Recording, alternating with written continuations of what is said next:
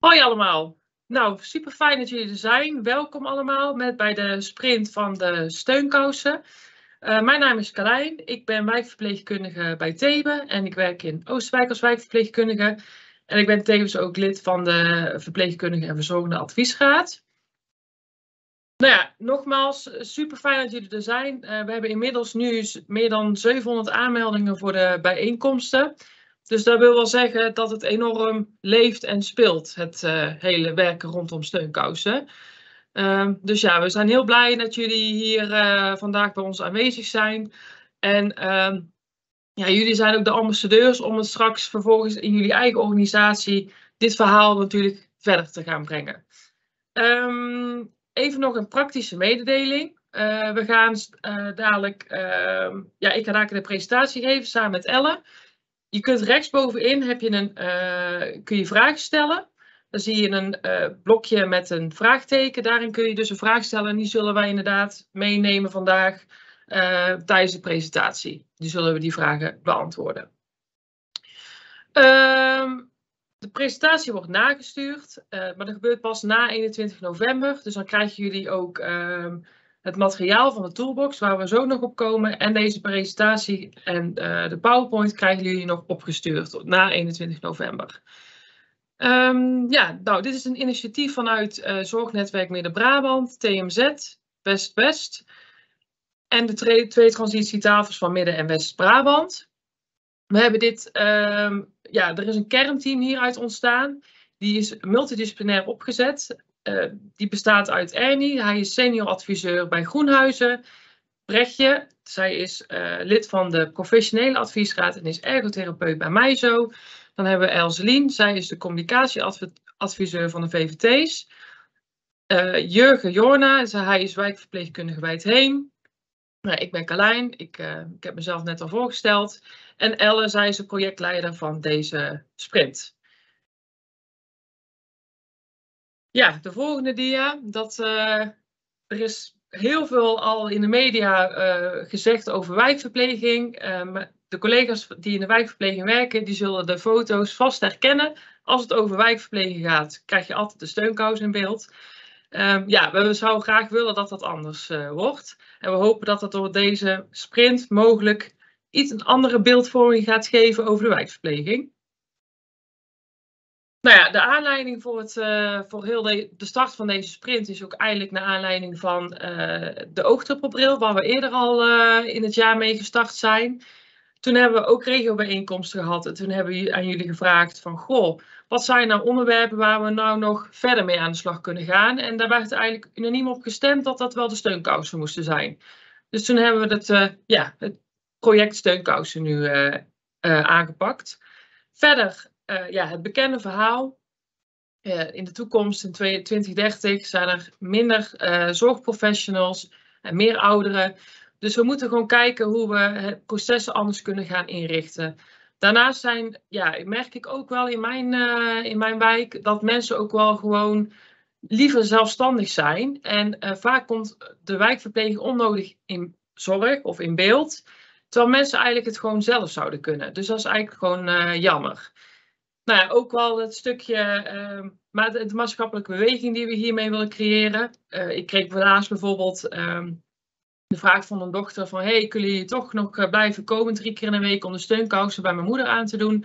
Beter die sociale controle. Ja, dat is wel echt een beetje lastig voor de toekomst. En dat zijn ook wel lastige gesprekken. We hopen zo door dit verhaal dat dit een, eigenlijk een klein onderdeel is, een, een klein voorbeeld is van de hele maatschappelijke beweging in ieder geval die we willen gaan maken. Um, ja, verder um, wil ik het woord nu geven aan Elle. Zij gaat jullie iets meer vertellen over de klantreis van de, van de steunkousen. Nou, dankjewel Carlijn. Fijn uh, ook namens mij dat jullie er allemaal zijn. Voordat ik iets wil gaan vertellen over de klantreis, wil ik enkele feitjes met jullie delen. Want waar hebben we het nu over als het gaat over steunkousen? De eerste vraag. Hoeveel mensen dragen er in Nederland steunkousen in de thuissituatie? Wat denken jullie?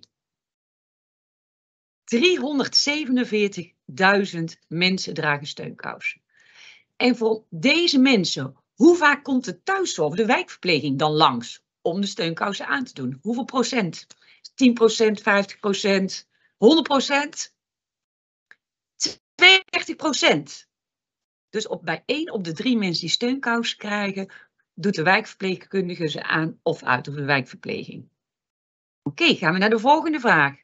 Als jullie kijken naar hoeveel procent er nodig is van de wijkverpleging om steunkousen aan te doen, hoeveel fulltime medewerkers zouden daarvoor nodig zijn? Dus als wij één medewerker zouden hebben die de hele dag steunkousen aan en uit zou doen, hoeveel medewerkers zouden we dan nodig hebben in Nederland? Dat zijn er 4500. Er zijn dus 4500 mensen fulltime bezig, als we dat, als dat één persoon zou doen, om steunkousen aan en uit te doen. En dan de laatste vraag. Hoeveel procent van de mensen waar nu de wijkverpleging komt, zou het zonder wijkverpleging kunnen? Nou, die vraag hebben wij geen antwoord op. Die hebben wij ook gesteld tijdens de bijeenkomst die live, uh, of tijdens de bijeenkomst die live was.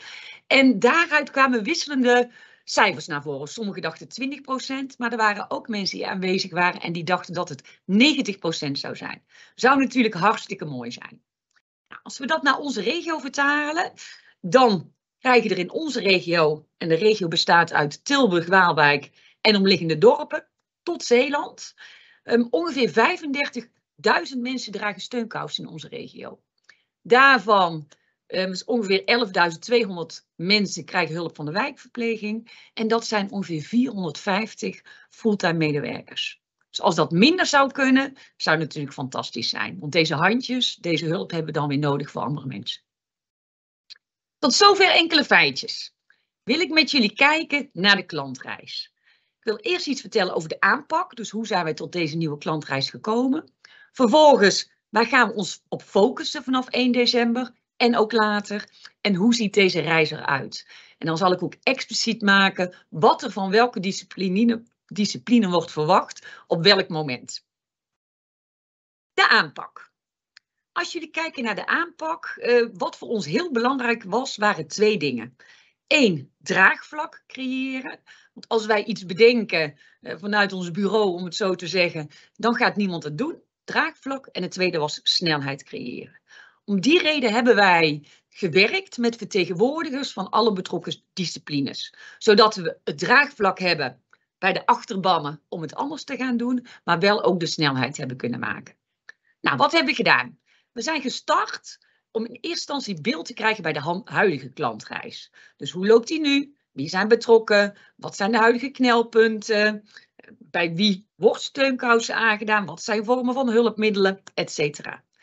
Toen we dat inzichtelijk hadden, hebben we met elkaar besproken, wat zou nou een focus kunnen zijn? Op wie gaan we ons richten vanaf 1 december? Het is natuurlijk een hele grote groep. We hebben intramuraal, klinisch, polyklinisch, uh, mensen die al in zorg zijn, et cetera. Ze hebben een focus met elkaar bepaald. Daar zal ik straks op terugkomen. Vervolgens hebben we een nieuwe klantreis met elkaar ontwikkeld. Dat hebben we gedaan tijdens een sprintdag. En op die sprintdag waren twee vertegenwoordigers per discipline aanwezig en hebben we gekeken, stel iemand zal zelfstandig zijn steunkousen aan eh, gaan doen, wat heeft hij daarvoor nodig? Nou, dat hebben we met elkaar bekeken, zowel wat heeft een burger daarvoor nodig, maar ook wat heeft de discipline daarvoor nodig, of de verschillende disciplines.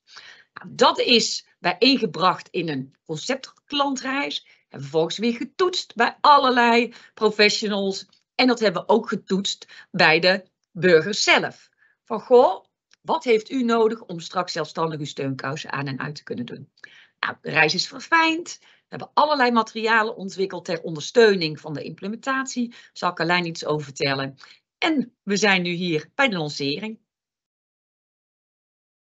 De focus van de klantreis, wat ik net al aangaf. 1 december gaan we van start. Dat is over twee weken. Nou, met wie gaan wij starten? We starten bij mensen die thuis wonen, dus nog niet met de intramurale doelgroep. We starten bij mensen die nog niet in zorg zijn. Dus we starten met de groep die voor de eerste keer steunkousen krijgen. Het is een bewuste keuze om als iemand bijvoorbeeld al jaren steunkousen krijgt en we gaan nu zeggen, goh mevrouw, u kunt dat zelf, krijg je ook veel weerstand. Dus we zeggen, we beginnen bij nieuwe mensen. Die gaan eigenlijk heel ja, geleidelijk aan worden die meegenomen in deze nieuwe klantreis, waardoor professionals eraan kunnen wennen en straks ook makkelijker op kunnen schalen. We kiezen voor de mensen die beensteunkousen aankrijgen, dus niet voor armsteunkousen. En die of door de huisarts of polyklinisch deze steunkousen voorgeschreven krijgen. Dus dat is onze focus. De nieuwe klantreis. Oh, eentje terug. De nieuwe klantreis. Um, die hebben we met elkaar ontwikkeld om die zelfredzaamheid te bevorderen, wat Carlijn uh, al aangaf. Veel mensen willen dat ook zelf. En daarnaast de zorg toegankelijk te houden. Hier zie je de klantreis per discipline, wat er wordt verwacht. En rechtsonder in het hoekje staat een hele belangrijke, en dat is de tenzij. Er zal altijd een groep zijn bij wie het nodig is dat de wijkverpleging de steunkousen aan en uit komt doen. En die groep moet ook blijven bestaan. Kunnen mensen zijn met cognitieve problemen zonder mantelzorg of met dermate fysieke belemmering dat ze het niet alleen of met een mantelzorger aan kunnen doen. Dan willen wij ook dat de thuiszorg of de wijkverpleging blijft komen om die steunkousen aan te doen. Dus het is zeker niet de bedoeling dat we zeggen we gaan het bij niemand meer doen. Maar dat is wel onze mantra. Steunkousen aandoen kunt u zelf. Ik ga nu per discipline aangeven wat er wordt verwacht en daarbij focus ik vooral wat er anders wordt gedaan. Begin ik bij de huisarts en de specialist. Het allerbelangrijkste wat zij mogen gaan doen, en dat geldt eigenlijk voor alle disciplines, is dat zij zeggen: steunkousen aandoen kunt u zelf. Dat is heel belangrijk. Carlijn gaf het eh, tijdens de live bijeenkomst aan dat zij ook van collega's eh, wel eens terughoort dat een huisarts zegt: neem maar contact op met de wijkverpleging. Die gaat u wel drie keer in de week douchen of die doet de steunkousen wel bij u aan. Als dat gebeurt, sta je als wijkverpleging al met 1-0 achter als we mensen willen motiveren om de steunkousen wel zelf aan te doen. Want als de arts zegt of de dokter zegt, ja nee, dat gaat de wijkverpleging doen, dan is het heel lastig om daar uh, tegen in te gaan of om daar een andere werkwijze in voor te stellen. Dus huisarts en specialist, polyklinisch zeggen, steunkousen aandoen kunt u zelf.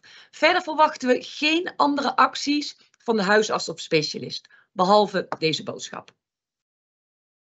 Als de huisarts of specialist denkt iemand heeft steunkousen nodig, gaat hij één of twee dingen doen. Hij verwijst door naar een compressietherapeut. Dat doet hij altijd, want daar worden de steunkousen aangemeten. Ander woord voor compressietherapeut is ook wel bandagist of aanmeter. En als iemand gezwachteld moet worden, dan verwijst hij door naar de wijkverpleging. Dus dit is een klantreis waarbij iemand gezwachteld moet worden. Maar het komt dus ook voor dat dat niet uh, gebeurt.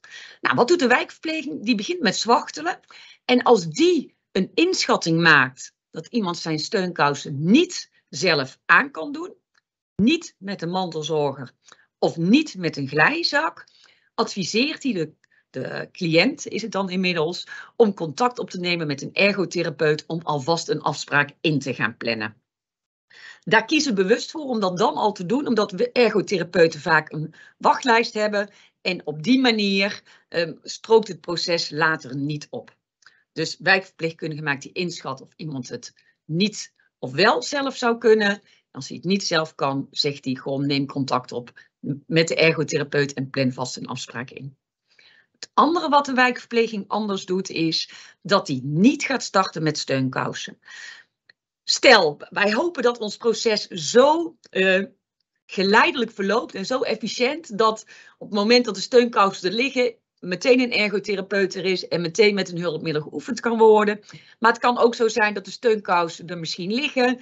Um, start dan niet met die steunkousen.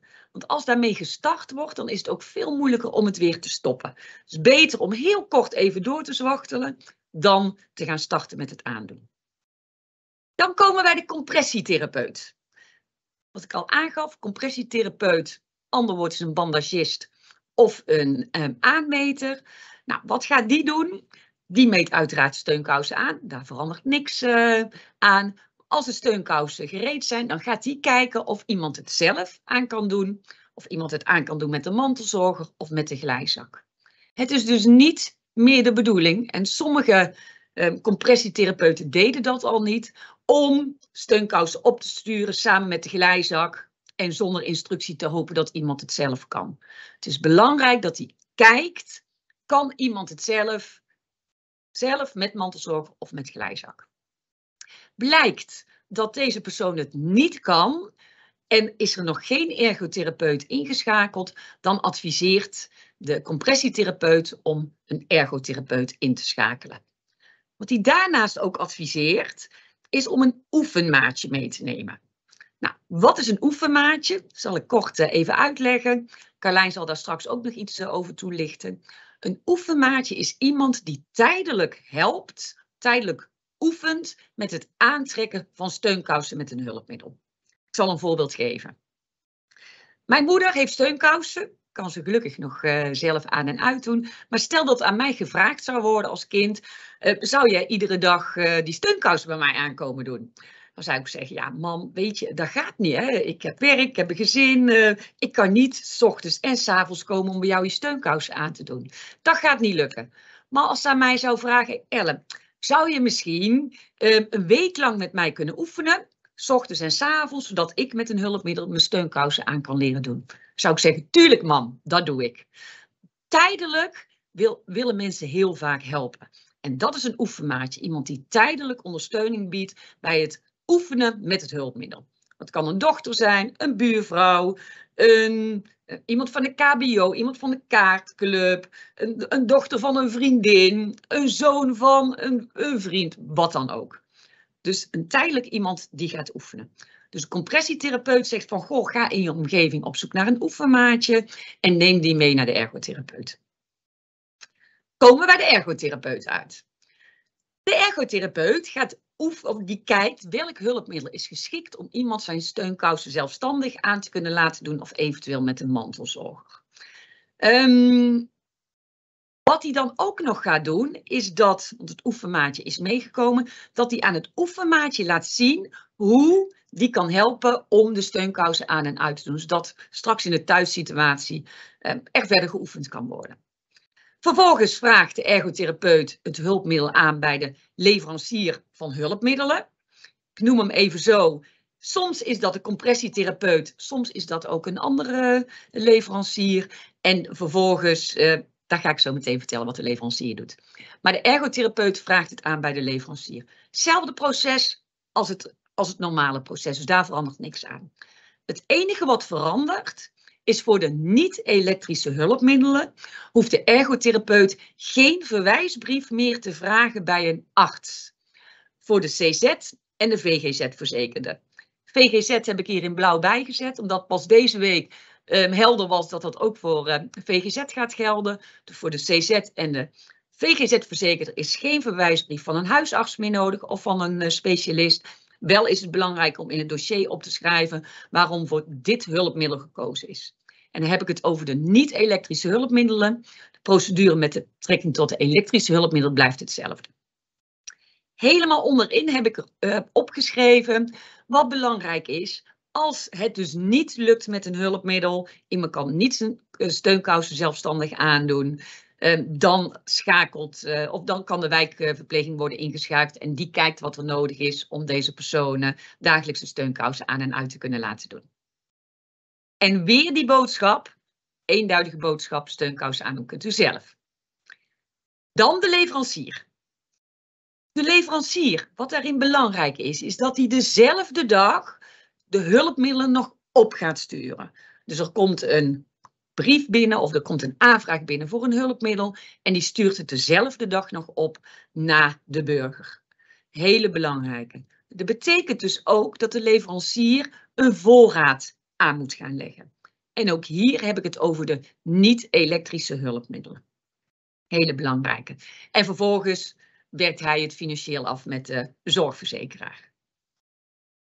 Komen bij het laatste blokje in de klantreis.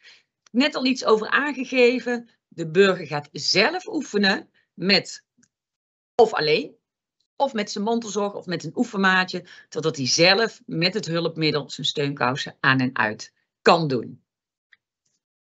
Dit in een notendop de klantreis. Ga ik nu nog kort even aangeven wat er nu veranderd in deze klantreis? Op de volgende slide. Yes. Allerbelangrijkste, niet te onderschatten. Iedereen draagt dezelfde boodschap uit. Steunkousen aandoen kunt u zelf. Dat is de boodschap. Tuurlijk is daar die tenzij, die weten we allemaal. Maar de boodschap is steunkousen aandoen kunt u zelf. Tweede belangrijke verandering is dat de ergotherapeut snel wordt ingeschakeld. Dus als de wijkverpleging al inschat, iemand gaat het niet kunnen, zelfstandig met de glijzak of met de mantelzorger, adviseert hij direct om een afspraak te maken met de ergotherapeut. Wijkverpleging gaat niet starten met steunkousen. Ik snap dat de verleiding er is, dat zwachtelen langer duurt als steunkousen aantrekken, maar die start er niet mee, zodat straks het veel makkelijker gaat zijn dat iemand ze zelf uh, aan gaat trekken. De compressietherapeut oefent met het aantrekken van de steunkousen. Dus die kijkt, kan iemand het zelf met mantelzak of met de glijzak. Zo niet, dan adviseert hij om contact op te nemen met een ergotherapeut. Daarbij geeft hij aan, ga in de eigen omgeving kijken naar een oefenmaatje. Die kan helpen met oefenen met het hulpmiddel. Ik moet even niet kijken, het is heel klein. Um, de verwijsbrief van de hulpmiddelen vervalt. Dus als er een hulpmiddel nodig is, dan is er geen verwijsbrief meer nodig van de arts. Dus je hoeft de ergotherapeut niet meer op te vragen. En als de leverancier een aanvraag van hulpmiddelen krijgt, dan stuurt hij dezelfde dag dat hulpmiddel nog op. Dit is in een notendop de klantreis. En ik kijk even naar Carlijn. Ja. Of er vragen zijn. Ja, die zijn er. Kom even bij jou staan, ja. uh, Elle. En nog een vraag was, is er dus een vergoeding vanuit de zorgverzekeraar? Ik ga uit dat het over de hulpmiddelen gaat. Uh, maar die is er inderdaad. En ook, uh, we kregen best wel regelmatig ook de vraag van... Stel je nou voor, uh, iemand kan wel met een hulpmiddel zijn kousen uittrekken. Bijvoorbeeld met zo'n ochtermeet of een steunkousenpistool. Maar niet aantrekken. Krijgt hij dan het hulpmiddel voor het uittrekken vergoed en de wijkverpleging? Dan krijgt hij inderdaad wel vergoed. Ja. Ja, ja, want het belangrijkste criteria voor het vergoed krijgen van een hulpmiddel is dat de wijkverpleging niet meer gaat komen. Ja. Dus als een hulpmiddel ervoor zorgt dat de wijkverpleging niet meer komt, dan wordt het hulpmiddel vergoed. Stel je voor dat er een hulpmiddel wordt bepaald, uh, bijvoorbeeld die handylag, en blijkt iemand het toch niet te kunnen, dan heeft iemand ook nog recht op een tweede vergoeding van een hulpmiddel. Kan zelfs ook nog een derde, maar dan moet er echt met de zorgverzekeraar in overleg worden getreden. Dus in principe twee hulpmiddelen kunnen vergoed worden en voor een derde hulpmiddel uh, zal in overleg getreden moeten worden. Ja. We krijgen ook nog de vraag, op basis van de nieuwe cliëntreis is de boodschap dan niet steunkousen aan en uit doen kunt u zelf. In principe is dat altijd de boodschap, tenzij. Ja, ja, en... ja, en ik denk waar die op doelt, wij zeggen steunkousen aandoen kunt u zelf, in plaats van aan en uit doen. Ja. Ja, maar we hebben hem proberen zo kort mogelijk te maken, maar in principe gaat het over aan en uit doen. Klopt helemaal. Dan nog een vraag, zijn de niet-elektrische hulpmiddelen inmiddels allemaal declarabel voor de cliënt bij de verzekering? Ja, hebben we het net over gehad. Ja. En ook de elektrische hulpmiddelen, alleen daar is een andere procedure voor, maar die is gelijk aan de procedure die er nu ook al is. Dus in principe is het twee maren, bedenk ik me nu, uh, moet de wijkverpleging voorkomen worden. En hij moet wel aangevraagd worden door een ergotherapeut. Dus ja. gaat iemand naar de thuiszorgwinkel, koopt zelf een hulpmiddel of online, dan betaalt iemand het zelf. Misschien ook een vraag die binnenkomt. Een ergotherapeut hebben vaak een wachtlijst. Ja. Um, hoe dit gaat een grotere druk op de ergotherapeuten leggen. Ja, we hebben, krijgen inderdaad, uh, we hebben ook bijvoorbeeld bij de fysieke bijeenkomst afgelopen maandag uh, vroeg de ergotherapeut zich al af van ja, ga ik nou niet meer cliënten krijgen? Ja, misschien wel. We moeten dat, dat moet wel in de praktijk natuurlijk uitwijzen of dat ook echt zo is. Maar uh, wat wij ook wel zagen, dat, uh, dat die ergotherapeut op het moment dat hij instructie heeft gegeven over een hulpmiddel, dat ze nog op vervolgafspraak komt bij die cliënt om nog het uh, hulpmiddel verder uit te leggen. En dat hebben, proberen we eigenlijk te tackelen door dat oefenmaatje in te zetten. Dus dat het oefenmaatje samen met de, met de burger het hulpmiddel kan gaan oefenen, zodat de ergotherapeut daar niet meer voor hoeft te komen. Ja. Misschien ook als laatste vraag, dan geef ik het woord aan jou. Gaat iedereen hier nu aan meedoen? Krijgen we binnen als vraag. Want wij zeggen, ja, we noemen leveranciers, ergotherapeuten, een huisarts, een specialist, we noemen al die mensen. Gaat iedereen meedoen?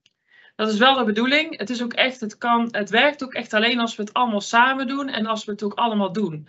Want als er, ja, eh, ook een oproep aan jullie, mochten jullie in het, uh, in het proces ergens tegenaan lopen, dan willen wij dat graag horen. Want dan moeten wij met degene die ja, niet volgens deze klantreis gaat werken, moeten wij uh, in gesprek. Want het is echt, ja, we kunnen het echt alleen samen doen. Ja. ja. We zijn ook gestart, we zijn gestart bij de VVT-organisatie. We hebben gezegd, met wie werken jullie samen? Ja, dat is een lijst geworden van ergotherapeuten. Bij die ergotherapeuten hebben we ook weer gevraagd van wie zit er in jullie regio. En zo proberen we via een olievlek dat iedereen uh, mee gaat doen ja. aan deze klantreis. En wat je al zei, er zijn nu al uh, bijna 750 aanmeldingen. Dus we verwachten ook wel uh, dat het animo hoog is om hier aan mee te gaan doen. Ja, dus ik zie ook een vraag binnenkomen, wie doet de zwachtels weer om in de oefenperiode? In principe doet de wijkverpleging dat. Ja. En we zijn wel al, eh, maar er komt uh, Elzo nog op, we zijn al wel met, uh, met bijvoorbeeld de specialisten in, uh, in gesprek over wat is dan bijvoorbeeld een goede zwachtelmethode. Is dat bijvoorbeeld de Ergo K2 of de klittenbandzwachtel of de Koban of gewoon de ACT zwachteltjes. Dus daar zijn we over nog in gesprek, maar daar komt Elzo meteen nog op. Ja. Even kijken. Nou, anders pak ik die zo meteen op. Ga jij iets vertellen over de toolbox? Um, en dan kijken we, kijk ik ondertussen welke vragen er binnenkomen. Die zal ik dan uh, aan ja, jou stellen. Dat is helemaal goed. Yes. De toolbox. De toolbox. Even mijn dingetje klaarleggen. Nou ja, we hebben dus een, uh, twee toolboxen eigenlijk gemaakt. Een toolbox voor burgers en een toolbox voor zorgprofessionals. Ik zal jullie eerst iets vertellen over de toolbox voor burgers. Deze, uh, de vorige keer toen met het oogdruppelen, werd er eigenlijk ook bij de regiobijeenkomst de vraag gesteld, komt deze ook nog bijvoorbeeld in andere talen? Nou, bij deze kunnen we dus nu al zeggen dat, deze, dat het materiaal ook in het Engels, Turks en in het Arabisch wordt uitgebracht. Zodat het ook ja, voor uh, meerdere doelgroepen gebruikt kan worden. Uh, daarna worden de materialen ook opgestuurd naar alle relevante partners. Dus jullie krijgen, de VVT-organisaties, ergotherapeuten, uh, bandagisten, krijgen allemaal ook een uh, uitgeprint, ja, de, de materialen worden uitgeprint, dus die zul je nog gaan ontvangen. Ook dat is pas na 21 november. En we gaan ook de materialen beschikbaar stellen voor andere regio's. Um, ja, we krijgen best wel regelmatig ook de vraag, bijvoorbeeld vanuit Amsterdam of zelfs Groningen, van mogen wij uh, jullie materiaal gebruiken? Mocht je ooit die vraag krijgen, dat mag. Dit, dit uh, materiaal mag gewoon uh, verspreid worden aan iedereen in, in het land. Allereerste stappenplan voor de steunkousen. Of eigenlijk het ja, de stappenplan. Wat wij in de, deze klantreis, in het ja, onderzoek van deze klantreis hebben gemerkt, is dat burgers vaak als ze steunkousen krijgen denken van, goh, wat staat me eigenlijk te wachten? Ik weet niet wat ik moet doen. Ik weet niet meer wie ik terecht kan. Het is echt, door de bomen zien ze het bos eigenlijk niet meer. Dus daarom hebben we een stappenplan opgesteld. Daar zie je eigenlijk in één overzicht um, ja, wat, de, wat de burger kan verwachten als hij steunkousen krijgt. Dus hè, word ik gezwachteld ja of nee? Wat als ik wel gezwachteld word? Wat als ik niet gezwachteld word? Um, wat is de hulpmiddel? Uh, wat als ik het niet kan met de glijzak? En in principe is dan het uitgangspunt, steunkousen aandoen kunt u zelf. Dan hebben we ook nog een uh, hulpmiddeloverzicht gemaakt. Want ja, er zijn enorm veel hulpmiddelen. Uh, zoals jullie misschien zelf ook al wel uh, in de praktijk meemaken. We hebben, wel, we hebben niet gekozen om alle hulpmiddelen op deze kaart te zetten, maar wel de meest voorkomende hulpmiddelen hebben we op deze kaart gezet. En dan hebben we ook een onderscheid gemaakt in bijvoorbeeld armverlengend of weerstandverlagend.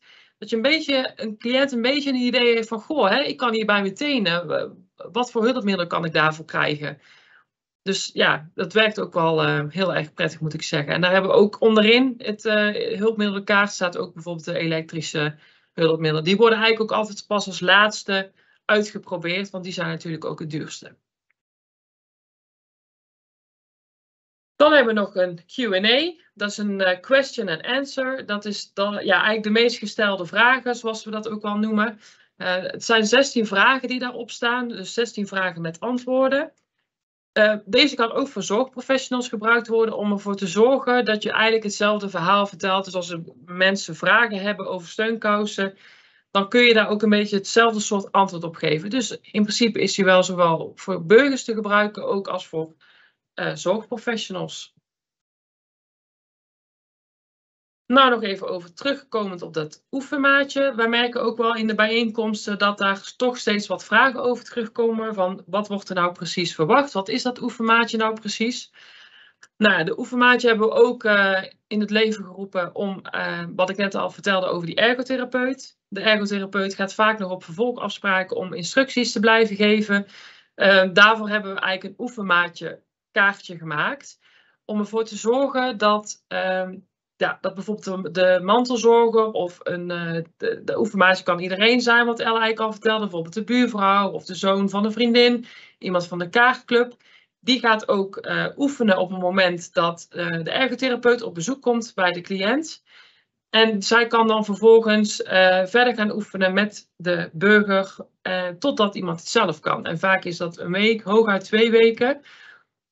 En op dat oefenmaatje, of, of op dat kaartje staat ook van wat er precies van zo'n oefenmaatje wordt verwacht. En ook mocht je het niet willen of niet kunnen, dan mag je het ook eventueel aan een andere persoon geven die dat mogelijk wel zou kunnen. We hopen dat daardoor ook een beetje um, de drempel wat lager wordt om, om om hulp te vragen. Want wij zien toch wel vaak dat cliënten dat uh, wel moeilijk vinden. Uh, maar we hopen door middel van dit kaartje dat ja, dat de drempel dan lager wordt. Want vaak is een netwerk wel toch iets groter dan iemand denkt. We zijn ook al in gesprek om te kijken of bijvoorbeeld zo'n oefenmaatje een vrijwilliger kan zijn. Maar dat is iets voor op de lange termijn, want het is nog niet zo heel makkelijk te regelen. Nou ja, uh, we hebben voor deze keer gekozen om geen instructiemateriaal te maken. Uh, dat komt eigenlijk omdat er het internet staat vol met instructiefilmpjes, instructiekaarten, hulpmiddelen. Dus maar we hadden wel zoiets van, we zouden het wel graag gebundeld zien op één plek. Daarin hebben we ook onderscheid gemaakt met de filmpjes, want uh, er zijn ook filmpjes waarbij iemand anders de steunkousen aandoet. Nou, dat zijn eigenlijk de filmpjes waar wij dus juist niet voor hebben gekozen, omdat we juist willen dat mensen het zelf gaan doen. Dus die hebben we gebundeld op één website, op Samen Richting Geven. De links zien jullie ook op de presentatie staan. Daarin staan eigenlijk uh, ja, staan de verschillende soorten filmpjes gebundeld met ook verschillende soorten hulpmiddelen. Dan komen we bij de toolbox voor de zorgprofessionals of voor professionals. Dan hebben we komen bijvoorbeeld bij een gespreksleidraad. En het gespreksleidraad is eigenlijk een, een uh, hulpmiddel om ervoor te zorgen dat je een beetje dat, dat alle organisaties hetzelfde gesprek aangaan met een, met een burger. Dus mocht een burger toch uh, zoiets hebben van ik zou graag hulp willen bij het aan- en uitdoen van mijn steunkousen, dan zou je door middel van deze gespreksleidraad wel een beetje kunnen uitfilteren. Is de ergotherapeut bijvoorbeeld al geweest? Uh, zo niet zou je daar naartoe kunnen verwijzen zodat eigenlijk iedereen een beetje op dezelfde manier werkt. En het ook voorkomt dat andere mensen uh, bij andere, of dat mensen bij andere organisaties gaan shoppen. Wij werken bijvoorbeeld met een uh, servicecentrum waar alle zorgvragen bij binnenkomen. Wij hebben daar aanstaande dinsdag geloof ik ook een uh, gesprek mee om dit even te, om het hier eens over te hebben. Maar het is ook de bedoeling dat uh, voor andere zorgorganisaties, mochten jullie zo'n ja, zo'n soort servicecentrum hebben waarbij zorgvragen binnenkomen, om dit dus ook eens met hun te gaan bespreken, zodat we allemaal uh, ja, de neuzen dezelfde kant op uh, zetten. Dan hebben we nog een animatiefilmpje gemaakt. Dat is eigenlijk in twee minuten tijd een uh, filmpje wat laat zien wat er eigenlijk veranderd is in deze klantreis. dit filmpje kunnen we helaas nu niet afspelen op dit webinar, maar dat krijgen jullie ook allemaal opgestuurd nog middels een linkje uh, dit filmpje uh, kun je gebruiken om aan je collega's te laten zien. Uh, en daar een beetje tekst en uitleg omheen te geven. Want het is echt een super fijn filmpje en het geeft een hele mooie samenvatting van de veranderingen van deze nieuwe klantreis. Um, dan komen er denk ik weer wat vragen binnen. Ja, misschien. Oh, kijk. Ja. Misschien meteen als aanvulling op dat filmpje. Ik kreeg een vraag van ja, het zwachtelen zit nu in de klantreis. Ja. Maar het is juist soms zit het erin en soms niet. En in dat animatiefilmpje wordt dat ook heel goed aangegeven. Ja. Dan zie je dus ook, het kan met zwachtelen, het kan zonder zwachtelen. Dus dat zit er inderdaad niet standaard in. Nee. Stel je voor, jij komt bij iemand thuis ja. um, en die wordt gewassen. Ja. Nu moet hij in één keer steunkous aan en uit. Ja, dat kun je dan toch wel in één moeite doordoen. Ja. Ja, dat is inderdaad een hele veel voorkomende casus eigenlijk. Ik had toevallig een paar weken geleden nog eentje. was een cliënt die zat in de zorg voor het douchen. Die kreeg steunkousen en die vroeg eigenlijk van... Goh, ja, maar kunnen jullie dan op de douchedagen mijn steunkousen niet even aandoen? Want ja, dan zijn jullie er toch. Ja, ik snap heel goed dat ze dat ook vragen. Maar ehm, ja, eigenlijk begint het daar al. Uh, wat mensen zelf kunnen, moeten ze echt zelf doen. Dus in principe kun je dan al het gesprek aangaan van ja, hè, luister eens, we, ja, je leeft volgens een bepaalde visie en het is toch echt de bedoeling dat iemand zelfs zijn steunkous uh, aan en uit gaat doen. Ja. Er komen een aantal vragen binnen. Stel dat hetgeen wat we hebben afgesproken, dat dat niet gedaan wordt. Dus de compressietherapeut gaat niet oefenen um, en bekijkt het niet met de glijzak. Of de leverancier stuurt het niet op um, binnen een dag. Oh ja, ja. Nou ja, we hebben inderdaad, er komt straks op de een van de laatste dia's te staan. Mocht je ergens in het proces tegen aanlopen, dan kun je nu nog uh, een mailtje sturen naar Elle. Of uh, ja, mensen die binnen TW werken, een mailtje sturen naar mij. Uh, en dan wordt het verder opgepakt. Dan gaan we daarin over in gesprek. Ja. ja. en wat misschien ook nog belangrijk is, stel je voor, je werkt samen met een compressietherapeut die het niet doet. Zoek dan een compressietherapeut die het wel doet. Is ook met de leverancier, want we weten dat compressietherapeuten het wel doen. We weten ook van leveranciers dat ze een voorraad aanleggen. Dus merk je, goh, met deze leverancier wordt het lastig samenwerken. Kies dan voor een andere die het wel op deze manier kan doen. Dat is misschien ook nog wel een, eh, ja. een, eh, goede tip. Ja. Um, even kijken, een aantal. Uh, oh, iemand vroeg. Uh, stel dat de buurvrouw mij gaat helpen met die steunkous aan. Kunnen we haar dan niet? Is er geen potje voor een kleine vergoeding daarvoor? Nee, ja, nee dat, dat, dat, uh, dat is er niet. Toch? Ja, nee, nee. Ik ga even de telefoon op en afleggen. De telefoon gaat hier. Nee, in principe is uh, als, als de buurvrouw de kousen aan en uit zou doen, ja, dat is natuurlijk fantastisch. Maar uh, ja, in principe is het helaas nog niet zo geregeld in Nederland dat daar een vergoeding uh, tegenover staat. Nee. Ja. Er werden net inderdaad een aantal zaken gebruikt over de vrijwilligers met betrekking tot oh. het maatje. Dus daar ja. kwamen ze al. En ik vond het heel leuk dat iemand net appte, wij gaan meedoen. Dus oh. inderdaad, we kregen ook een aantal hele positieve reacties van leuk dat jullie hiermee bezig zijn. En wij gaan het allemaal uh, met elkaar doen. Ja, ja want ook, ook wel belangrijk om te vertellen is, wij kregen bijvoorbeeld bij het verhaal van de oogdruppelbril. Er zijn tegenwoordig andere flesjes bij, uh, na een staaroperatie, die Dex Mono flesjes. Die passen niet op de, die druppelbril die oorspronkelijk bedacht was. Toen kregen wij heel veel um, signalen van mensen, ja, die, die flesjes passen niet, dus ja, die druppelbril heeft geen zin.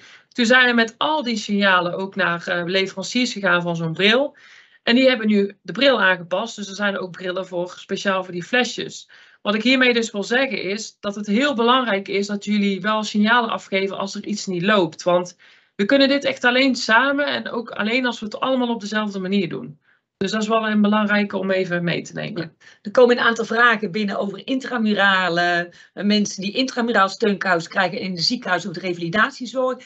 Dat, die klantreis hebben we nog niet met elkaar uh, uitgedacht. Maar dat is wel iets wat we op termijn willen gaan doen. Dus we gaan nu starten op deze manier. En vervolgens gaan we kijken hoe kan dat vanuit een klinische setting of vanuit de revalidatie. Of hoe kunnen we dat intramuraal doen. Dus voor nu nieuwe mensen.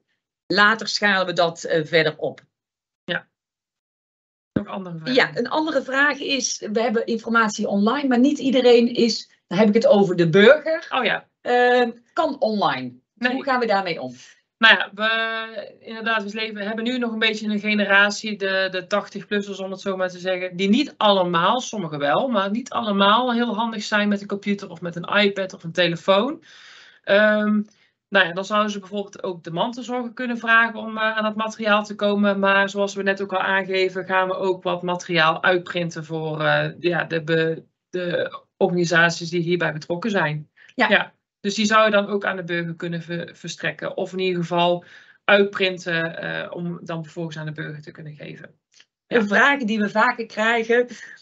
je komt bij een cliënt en je zegt, nou mevrouw, u gaat het zelf doen. En je zegt, dat ga ik niet doen ik heb recht op zorg. Oh. Ik heb er lang genoeg voor betaald, dus nu kom je. Ja, ik ben al 40 eh, jaar lid van Thebe, dus jullie moeten maar gewoon, ja, uh, inderdaad. Moeten maar gewoon komen. Wat zou je daarover adviseren? Ja, wij, wij beseffen, en ik, uh, ik maak het ook uh, vaak genoeg in mijn eigen wijk ook mee. Het is, dat zijn lastige gesprekken. Van, ja, mensen die, die, die hebben heel hun leven betaald voor zorgverzekering en die zijn 90 jaar en ja, die willen dan toch wel graag zorg eh, ontvangen. Ja, in principe, dat zijn moeilijke gesprekken, maar de boodschap moet wel zijn, in principe moeten mensen het zelf, echt zelf gaan doen. Ja. En ja, ga daarin over ook met je team in gesprek als mensen niet mee willen gaan in deze nieuwe werkwijze. Want in principe is het een werkwijze en we moeten allemaal zo gaan werken Anders, ja, anders gaat het gewoon uh, niet lukken. En probeer ook met iemand, dat is heel lastig, ook de urgentie uh, aan te kaarten van waarom we dit doen. Dus niet omdat we zeggen, nou we hebben er geen zin in, maar er zijn gewoon te weinig mensen om straks de zorg toegankelijk te houden voor iedereen die het echt uh, nodig heeft. Nou ja, ik had voor laatst ook een voorbeeld. Eh, ik, kan inmiddels al heel veel praktijkvoorbeelden benoemen. Er was bijvoorbeeld een cliënt en die wilde inderdaad heel graag hulp aan, krijgen bij het aan- en uitdoen van zijn steunkousen. Dus toen zei ik ook van, goh, maar beseft u wel, nou, die, ik had wel een inschatting gemaakt, deze cliënt zou het wel mogelijk zelf konden, maar die vond het wel fijn als dan iedere ochtend en avond iemand van de thuiszorg zou komen, ook een beetje om een oogje in het cel te houden. En eigenlijk had ik de inschatting gemaakt, dat was niet helemaal nodig. Dus ik ben ook in gesprek gegaan met die cliënt en ik heb ook wel gezegd zo van, goh, uh, beseft u wel dat op het moment als ik, als ik u in zorg ga nemen, dat ik dan een cliënt die bijvoorbeeld naar huis wil komen om te sterven, ik die niet in zorg kan nemen. En daar is die cliënt heel erg over na gaan denken en de volgende dag belde die op en toen zei hij van, uh, ik ga het zelf doen. Ja. ja. Dus mensen zijn ook vaak niet bewust van uh, wat het betekent als, je, ja, als ze in zorg komen voor steunkousen. Ja. En je hebt altijd natuurlijk een tenzij, hè? dus dat, uh, dat ja. blijft altijd. Ja. Er blijven vragen binnenkomen. Wat ik ga doen, ik ga weer een stukje presenteren. Ja. En dan nadien hebben we nog een blokje met vragen. Maar daarnaast gaan we alle vragen bundelen. Um, daar geven we de antwoorden op. En dan zullen we die ook gebundeld uh, terugsturen met um, het webinar volgende week, et cetera. Ja. Dus dan krijg je ook het antwoord op die vragen. Ja. Dan maak ik het klein stukje af en dan doen we daarna één vraag. In ieder geval, wordt de dof en dunner ook vergoed als de partner het doet? Ja, ook dan wordt die goed, want vergoed, want het belangrijkste is als de wijkverpleging niet meer gaat komen, dan wordt een hulpmiddel vergoed. En dan maakt het niet uit of de partner um, het aantrekt, zolang de wijkverpleging maar niet meer komt. Aan de slag. Doorontwikkeling klantreis en de stip op de horizon. We gaan drie dingen doen. Aan de slag gaan we nu doen. Doorontwikkelen klantreis wanneer dit goed staat. En het vergezicht doen we, pakken we op als het tweede stukje goed staat. Aan de slag. Nou, wat gaan we van jullie vragen? Heel belangrijk, ik blijf het herhalen, zorg voor die eenduidige boodschap richting burgers. Steunkousen aantrekken kunt u zelf. Heel belangrijk dat iedereen die boodschap uit gaat dragen. De materialen die Carlijn net liet zien, die kunnen daarin ondersteunen. Dus de materialen, zowel voor, uh, met name voor de burgers, maar ook voor de professionals, die zijn ondersteunend om deze boodschap uit te kunnen dragen. Daarnaast gaan wij een aantal nieuwsberichten opstellen en naar jullie uh, toesturen. Um, en die kunnen weer verspreid worden binnen de eigen media. Dus we sturen het op naar de huisartsenzorggroepen, naar de VVT-organisaties, naar de ziekenhuizen. Zodat die het ook weer via, bij hun eigen achterban onder de aandacht kunnen brengen. Zodat we zo als het ware als een olievlek onze boodschap kunnen verspreiden. Wijs je collega's ook op deze nieuwe werkwijze. Hele belangrijke. Het filmpje, wat maar twee minuten duurt, laat hen het filmpje zien en bespreek het dan ook met elkaar. Als ze alleen het filmpje zien, is dat misschien onvoldoende. Maar met jullie toelichting, want wat Carlijn net al aangaf, jullie worden onze ambassadeurs. Uh, met de toelichting gaat het zeker landen. En als laatste, we gaan gewoon doen. Carlijn zegt altijd heel mooi, er zijn ontzettend veel beren op de weg maar heel veel steken er ook niet over. Als we dat realiseren, ja maar als of maar dan, we gaan gewoon doen. Ik weet zeker dat 80% het hartstikke goed gaat en dat kleine stukje sturen dan weer bij. Doorontwikkeling klantreis. 1 december gaan we dus starten met mensen die nieuw in zorg komen. Dat is een hele belangrijke, die door een huisarts doorverwezen zijn of vanuit de polykliniek. En een aantal doelgroepen dus ook nog niet.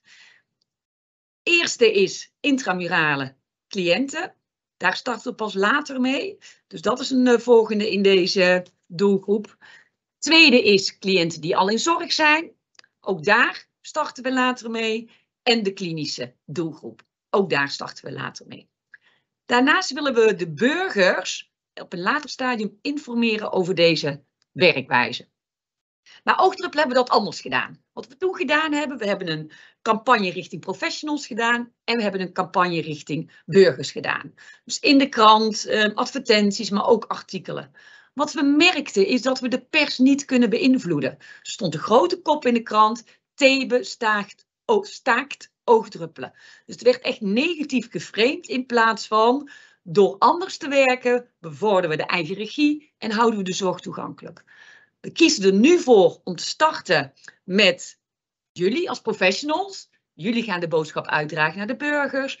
Daarmee gaan er successen komen. En vervolgens kunnen we over een poosje ook de burger meenemen in de successen die er zijn. Zodat de drempel om het anders te gaan doen ook lager wordt. Zeker bij de mensen die al in zorg zijn. En als laatste gaan we ook de effecten meten van deze nieuwe werkwijze. Dus levert het op wat wij vooraf beogen. En dan hebben we nog de stip op de horizon. Dus waar we naartoe gaan werken. Wat wij hoorden in de klantreis is dat we een aantal keren terugkregen. Ja, maar heeft het wel zin om die steunkousen, als je ze eenmaal voorgeschreven hebt gekregen, altijd te blijven dragen? De reacties waren ook wisselend. Dus wat we willen, wat we hebben geadviseerd aan de thuiszorgorganisaties, om eens te gaan kijken uh, bij welke groep is het mogelijk nog wel nodig, bij welke groep niet. En dat we dat ook medisch onderbouwd kunnen zien om dat in de regio uit te kunnen gaan rollen. Wij kunnen er van alles van vinden, maar als een medisch advies gaat liggen, dan kan het ook veel makkelijker geadopteerd worden in de regio. Tweede punt, stip op de horizon, zijn de zelfzorgacademie of de mantelzorgacademie. Wat is dat? In Breda heb je een mantelzorgacademie. Dat zit in het Amphia. Um, op dit moment kunnen daar mensen naartoe om mantelzorg taken te leren. Je kunt dan denken aan uh, steunkousen aandoen of uh, bijvoorbeeld uh, spuiten. dus de mantelzorg wordt het aangeleerd zodat hij zijn eigen naaste kan ondersteunen. Nou, dat willen we uit gaan bouwen ook in de andere twee regio's. Die zijn er ook al mee bezig. Um, en we willen ook kijken hoe kunnen we veel meer naar de mensen toe gaan. Dus niet focus op het ziekenhuis, maar de mensen in de wijk, dat die wellicht naar een soort satellieten toe kunnen of uh, buurtcentra om bepaalde dingen aan te kunnen leren, zoals het aan- en uittrekken van steunkous. Een ander punt, zou ik ook al wat vragen over langskomen, het zwachtelen. Carlijn gaf het net al aan, er zijn een aantal efficiëntere mogelijkheden van zwachtelen. Klittenband zwachtelen kan iemand zelf, bijvoorbeeld. Um, het um, koolban hoef je maar één keer per week, volgens mij, of twee keer in de week uh, te zwachtelen. Dus er zijn bepaalde vormen. Niet alle vormen zijn voor iedereen geschikt. Dus ook daarin willen we graag een medisch advies voor de hele regio, hoe we dat het beste aan kunnen pakken. Ja. En dan als laatste, de nieuwe sprints. We hebben er dit jaar twee gedaan. In de, eigenlijk de beweging naar zelfredzaamheid. Oogdruppelen en steunkousen. En vervolgens willen we eigenlijk de nieuwe sprints gaan, ja, eigenlijk gaan, uh, gaan maken. Dus weer nieuwe ideeën. Uh, mocht je die hebben, zet ze in de app of zet ze in de chat, zodat we die uh, mee kunnen nemen. Carlijn staat al klaar met een hele hoop vragen. Ik doe nog de laatste slide en dan doen we inderdaad de vragen die er nog zijn. Nou, zijn er vragen? Stel ze aan mij of inderdaad ook aan degene die je uh, zag op de eerste slide. Dat zijn ook uh, de contactpersonen die hier heel veel van afweten. En daarnaast hebben we de toolbox voor professionals en de toolbox voor de burgers. Eén, vanaf 1 december is die live. Uh, we kregen best veel vragen, ja, kan die nu nog niet live? Nee, want we krijgen ook feedback terug van jullie. Ik las net ook een feedback bijvoorbeeld dat, dat ze zeiden, hey, het leest net alsof we zeggen iemand moet het zelf kunnen of anders zetten we een hulpmiddel in. Waar blijft die mantelzorgen? Moeten we even goed kijken naar de tekst, want dat is wel het idee. Wat kunt u zelf? Wat kunt u met de mantelzorg? En wat kunt u daarna met een hulpmiddel? Um, dus als dat niet scherp staat, willen we het nog aan kunnen passen en dan alles in één keer op de site uh, kunnen zetten. Vragen? Carlijn komt er weer bij je. Nou, ik, uh, wat ik sowieso even, ik ging heel even aan op jouw uh, stukje van de klitterbandzwachtel. Want ik had toevallig van de week een gesprek met de EBP-groep uh, van Thebe. En zij hebben al eigenlijk een klein onderzoekje gedaan naar bijvoorbeeld het gebruik van klitterbandzwachtel. En zij zagen daarin dat er toch wel een, ja, toch niet helemaal positief waren in, sommige gevallen. Want je moet die klitterbandzwachtel echt heel strak aantrekken. En wat vinden mensen niet fijn als zo'n ding heel erg strak zit. Dus wij weten niet zo goed of dat een heel, uh, bijvoorbeeld een geschikt hulpmiddel is. Dus Nou ja, daarmee wil ik dan zeggen van, dus dat zijn nog wel ja, open Ja, eindjes Zeker. waar we nog even naar Ja, eh, moeten Ja, want bij de omring in Nederland is daar ook een pilot gedaan. Daar hebben we ook de evaluatierapporten. Dus er zijn heel veel. Ehm, er is veel informatie. Belangrijk is dat er een keuze wordt gemaakt. Maar misschien dat het wel heel goed kan bij doelgroep X. Dus vandaar dat we dat echt uit willen zoeken. Alvorens we daar iets over willen gaan zeggen. Ja, en er was nog een vraagje over het, de keuze van een leverancier. Van wat als een leverancier bijvoorbeeld niet mee wil gaan, dan kun je niet naar een andere leverancier. Dat kan inderdaad niet, want als je eenmaal voor een leverancier kiest bij een cliënt, dan kun je niet meer overstappen naar een andere bij diezelfde cliënt. Maar bijvoorbeeld wel weer bij een andere cliënt. Dus Ja. mocht je dan weer een andere cliënt hebben, dan zou je bijvoorbeeld kunnen kijken naar een andere leverancier die het wel op voorraad heeft. Ja, en het is de compressietherapeut is vaak ook leverancier van hulpmiddelen. Of vaak, dat komt voor. Maar ehm, stel dat de compressietherapeut de steunkousen aanmeet. Het hulpmiddel kun je ook bij een andere leverancier aanvragen. Dus dat zit niet aan elkaar gekoppeld. En verder komt nou nu ook de vraag binnen, hoe garandeer je dat de klant zelf de juiste druk gaat geven met de klittenbandzwachter? Nou ja, daar, heb je hem dus al. Eh, ja, eigenlijk is het dan niet meer de bedoeling dat er een professional natuurlijk tussen komt, want zo'n klittenbandzwachter is juist de bedoeling om het zelf te doen. Dus ja, daar, daar moet je echt wel 100% zeker van zijn dat die cliënt het, eh, of burger het gewoon goed strak kan aantrekken, zodat het wel gewoon effect heeft en de juiste druk geeft op de benen. En verder zag ik ook een vraag binnenkomen over de revalidatiecentrum. Wat verwachten jullie daarvan? Ik hoop dat deze vraag nou wel beantwoord is Ja. met het verhaal van Ellen net. Dat we daar nog wel mee aan de slag gaan. Maar dat we nu per 1 december eerst focussen op de extramerale cliënten die bijvoorbeeld vanuit de huisarts of vanuit de specialist van het ziekenhuis polyklinisch komen. Ja. En ik denk nog één ding ter verduidelijking. Er is een verschil tussen een fabrikant. Dat zijn degenen die de spullen maken. Dus een handyleg, een dressbuddy, een helpsok. Dat is een fabrikant. Die levert vaak aan een leverancier van hulpmiddelen. En die leverancier van een hulpmiddel krijgt van heel veel fabrikanten zijn materialen. En die leverancier, die levert dan eh, de hulpmiddelen. Dus er is een verschil tussen een fabrikant en een leverancier. Dat nog even. Dus ik heb het over de leverancier die eigenlijk de tussenpersoon is en alle hulpmiddelen heeft om te leveren. De niet-elektrische hulpmiddelen. Ja. Zijn er nog meer vragen binnengekomen? Nee. Nee, niet dat ik weet. Ja, er waren wat vragen binnengekomen over, eh, maar hoe moet je nou zo'n hulpmiddel aanvragen als eh, compressietherapeut? Of hoe gaat die werkwijze? Dat is hetzelfde als nu. Daar verandert er dus niks aan. Nee. Dus wat wij niet verteld hebben, betekent dat het eigenlijk gewoon zo blijft. Dus we hebben de nadruk gelegd op wat er anders gaat, maar niet zozeer op eh, hoe het nu gaat. Dus alles wat niet verteld is, dan blijft het huidige proces overeind.